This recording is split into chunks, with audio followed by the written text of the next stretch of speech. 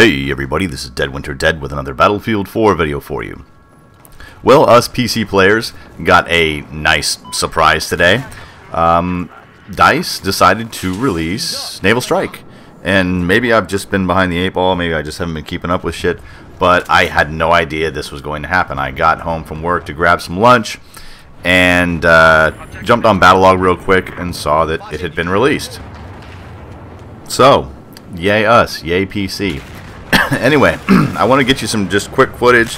I apologize for the fact that it might be just terrible gameplay. Um, I'm completely lost in these maps, but I wanted to try to get some of this out so you guys could see some of the PC footage. And it's it's it's nice. I, I had a lot of fun with it. So if you do not recognize this map, this is Wave Breaker.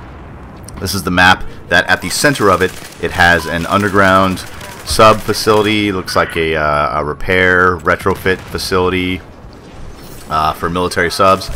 And this, this center area is excellent. Excellent, excellent. Now, again, I apologize for uh, some of the gameplay. it's going to be a little bit rough. And while I say that, I also have to tell you that I do end up getting MVP, and I do end up going on, uh, you know, fairly nice kill streak. But I think that was, you know, less because of, of you know, my super ninja skill, and more because we were all just lost. Um, I've had the opportunity, just like everyone else, to see some of this map um, from some other YouTubers, as well as the PS4 community when they can get over their rubber banding issues, and some of the Xbox One community.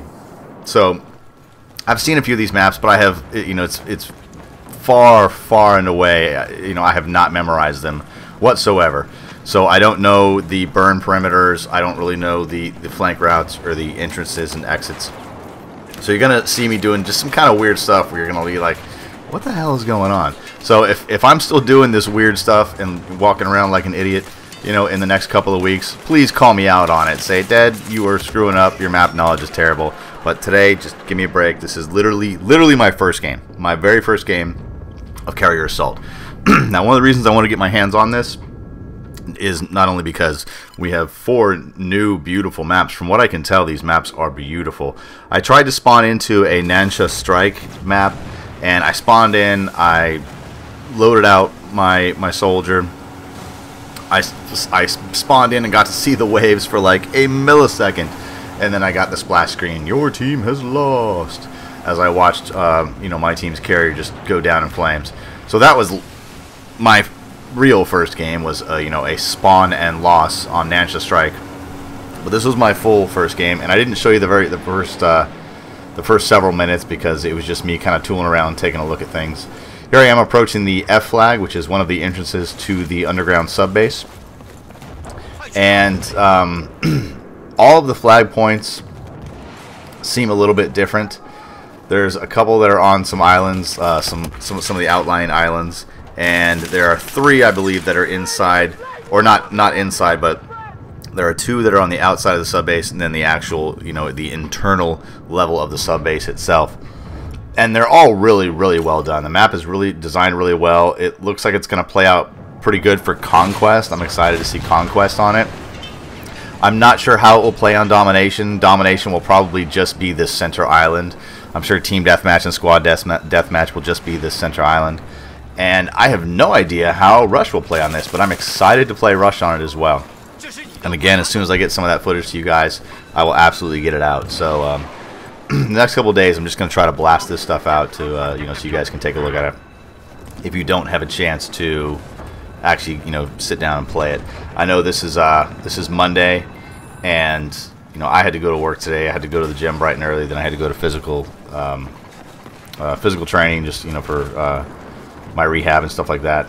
And I got off to come have lunch, and you know, here we go. So I'm gonna have some chances to play it, but I know that many of you might be students or have you know a full-time job, and you might not have a chance to come, you know, and to actually really get your fingers into it until this weekend. You know, Friday, Saturday, Sunday, etc., etc., depending on how your work week goes. But my first impressions, this map is it's a great looking map. It's a lot of fun. my first impressions of Carrier Assault. Um, but before I go there, first let me say this, Mom, and some of you who, who know my videos, my very favorite Battlefield game is 2142. I thought that was a brilliant game. Everything about it was just awesome. I put thousands of hours into it. I mean, I mean, we're talking, you know, two, you know, 2,500, maybe even 3,000 hours in it. Just stupid amounts of time. Um, obviously, I was I was younger then, and you know, I wasn't I wasn't married or didn't have uh, you know, my son. But it was still a lot of great times.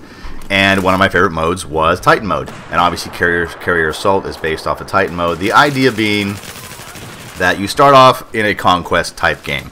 You have uh, a multitude of flags, anywhere from five to seven flags, and you um, have to capture the flags. And at each flag point is a mobile piece of uh, artillery or, or a mobile rocket unit, and as you control that flag, every 30 seconds or a minute or so, that rocket unit associated with that flag will fire off a rocket toward the enemy carrier or enemy Titan, depending on what game you're talking about.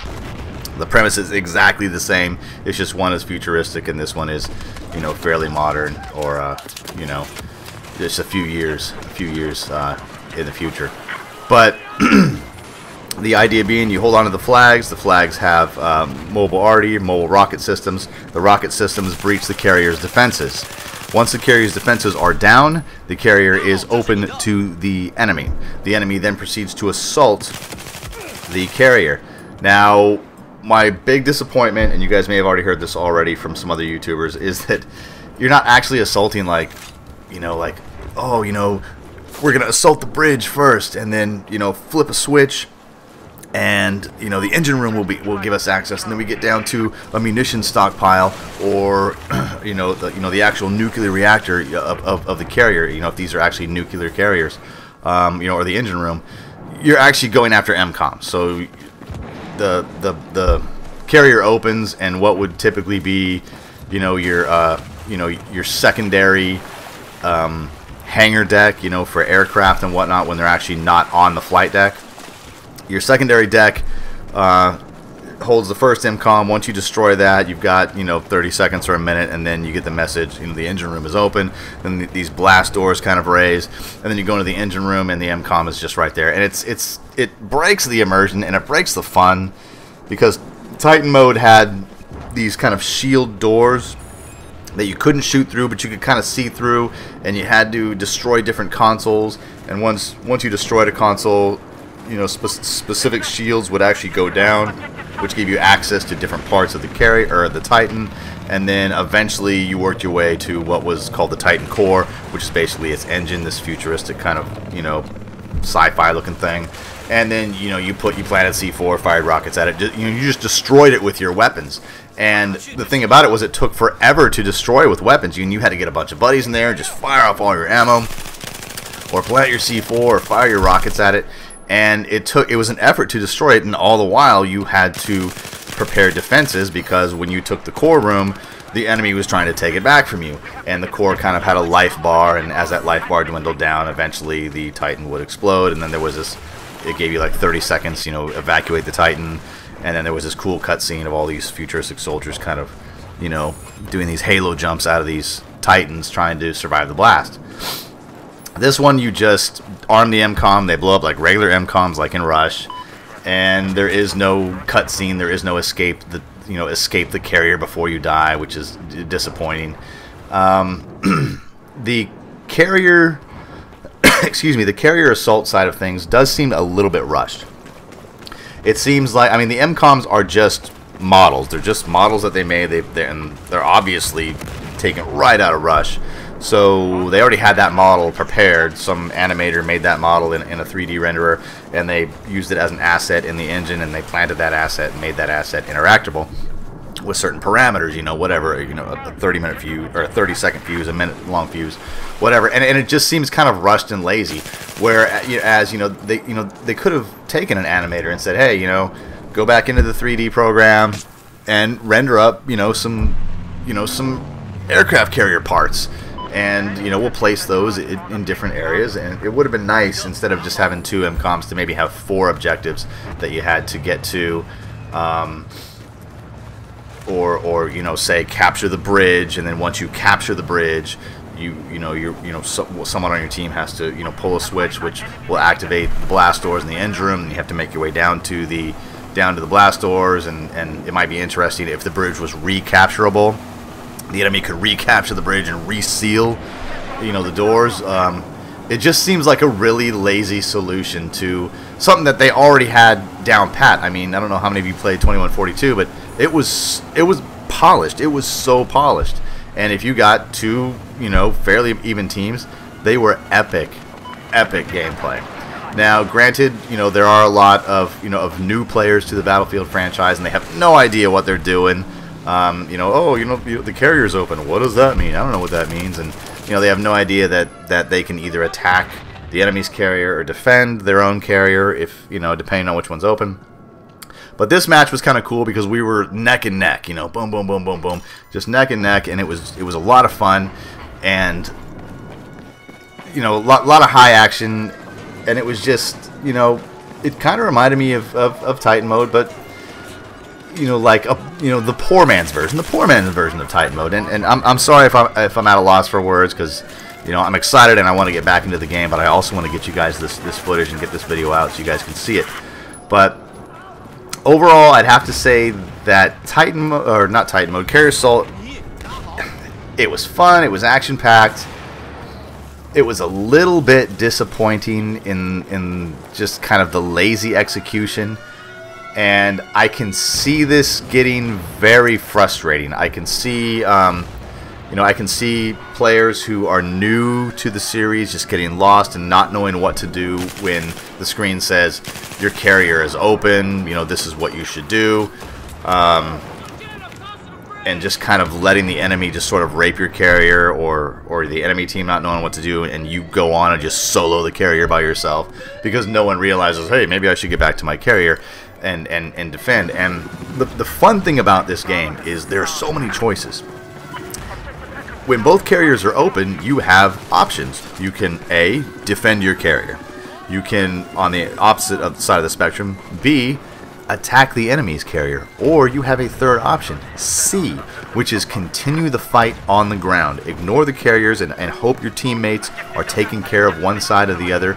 You ignore the carriers, you get back on the ground, and you try to capture and hold as many flags as possible. Because remember that when you capture those flags, rockets are still being fired into the air and the carriers are still taking damage.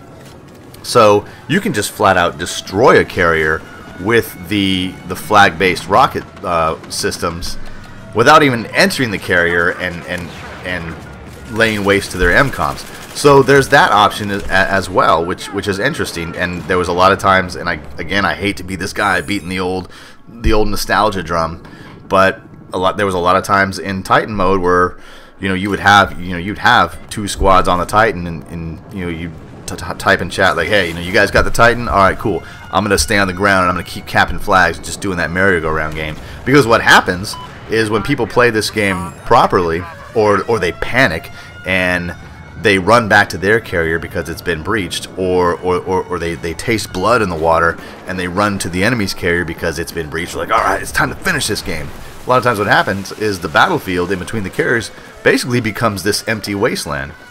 And right here, I apologize for this. I, I was friggin' lost. I was like, there's got to be a door around here somewhere, and I was just, I don't know what I was doing, so just, you know, call me an idiot in the chat if you want to, but I was just lost. Um, but yeah, the you know when both carriers are open, the the middle ground kind of becomes just a ghost town, and you can just have your way with you know with the flag. So if you can keep you know most of the flags in, in, in your team's hands, that means you're putting more firepower into the air, more firepower into the side of this carrier, and you are helping your team to destroy the enemy carrier a little bit quicker if they just have it locked down. Like, let's say the entire team just pulls back and locks it down, and you're like, crap, you know, there's no way we're getting in there, man. They got claymores, they got C4, they got all the sight lines, eh, you know, and all the attack lanes just locked down. Guys are bipoded up then it's like, all right, you know what? Pull back, pull our troops back. Don't don't fight that war of attrition inside the guts of the carrier. Pull back, cap all the flags, and bomb those guys back to the Stone Age. And that's what's cool about this is is, is it's not Not everybody on the entire on the entire server is focused on one thing. It's like, hey, am I going to attack? Am I going to defend? Or am I going to stay and just continue this conquest game and try to hold as many flags as possible to get as much ordnance in the air as I can and take these bad guys down from outside while my buddies are inside the guts of the carrier taking them down from within. So that's that's one of the cool things about this game, and that's what really draws me to it. I'm like, oh, this is so bitchin'. This is you know this is really really neat. I, I like this idea, um, but I do think that it was kind of, was kind, I mean, it was kind of lazy. I mean, look, they took all the time to to you know, somebody did all this art. Somebody rendered all these, um, you know, all these engine parts and all, you know, all the gantries and the walkways, and it looks neat. It looks neat inside, but then you know the the interactive piece of the game is just oh let's just plop an MCOM right there. So it's like okay, you know I'm supposed to believe that you get on an aircraft carrier, you know it's this multi-billion dollar machine of war and there are just two little buttons spread throughout the uh, aircraft carrier. If I press them both and blow, blow them up both, the entire aircraft carrier, its defensive and offensive capabilities and systems are completely for naught if I just press these two buttons. It kind of kills it for me, but whatever, it's a video game, so, you know, th and this is what we have. But anyway, guys, we're coming to the end of this. Uh, my first impressions for this map, excellent map, fun map. I think it's going to be great on most game modes. Um, and Carrier Assault, this was a fun round. I had a lot of fun playing it, and these are all just random pubbies on one of the uh, U-Rock servers, I believe. And it was fun. I had fun doing it. But then again, it might just be that, like, oh, you know, something different is always exciting. And this right now is something different. So anyway, PC guys, Naval Strike is out. Go to Origin, download it. It takes a little while to download. But uh, you know, get your get your booties inside the servers, play some rounds. Let me know what you guys think of the game. And I'm going to be bringing you much more Naval Strike content to come. If you like this, please give me a thumbs up. Pass it on to whoever you want. Trying to grow the channel. We're getting close to 200 subs, so thank you guys for all of that. My name's Dead Winter Dead. Thanks for watching.